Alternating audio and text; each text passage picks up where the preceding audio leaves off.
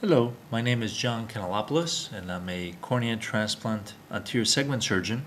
I'll be showing you a fascinating novel technique for the management of uh, very advanced keratoconus.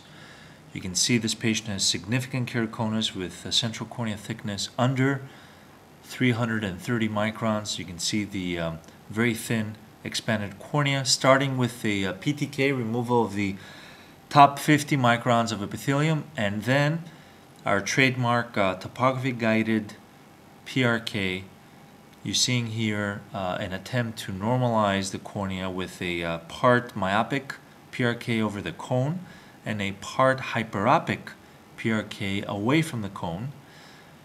Uh, this is a trademark uh, platform uh, for topography guided correction of the cone with a WaveLight platform. After the second ablation is performed, uh, mitomycin solution is used, uh, irrigated, and then 0.1% uh, riboflavin solution uh, to soak the cornea. Uh, in the meantime, a lamellar cornea graft is being generated 300 microns thickness uh, from a uh, donor cornea with a femtosecond FS60 IntraLase device.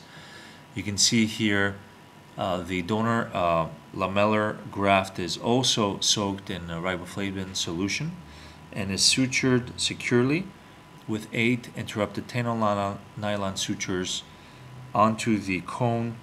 The graft is undersized in order to compress the uh, ectatic cornea and following suturing of the lamellar graft onto the keratoconic cornea, a session of 10 minutes with 7 milliwatts per square centimeter UV light is performed.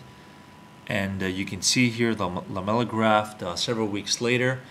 You can see here the Pentacam maps, uh, early pictures, uh, Scheimpflug images with the Pentacam map showing uh, the uh, gross flattening of the cornea and the change before after a dramatic flattening effect of this combined lamellar keratoplasty after pre-treating the ectatic cornea with a topography guided PRK and cross-linking the lamellar graft onto the keratoconic cornea in order to avoid future slippage of the graft and ectasia. Here, interesting um, corneal CT maps showing uh, the graft uh, three months later. Visual acuity went from count fingers to 2080. So a novel idea for management of uh, advanced keratoconus without penetrating keratoplasty combining collagen cross-linking and a lamellar keratoplasty. Thank you very much for your attention.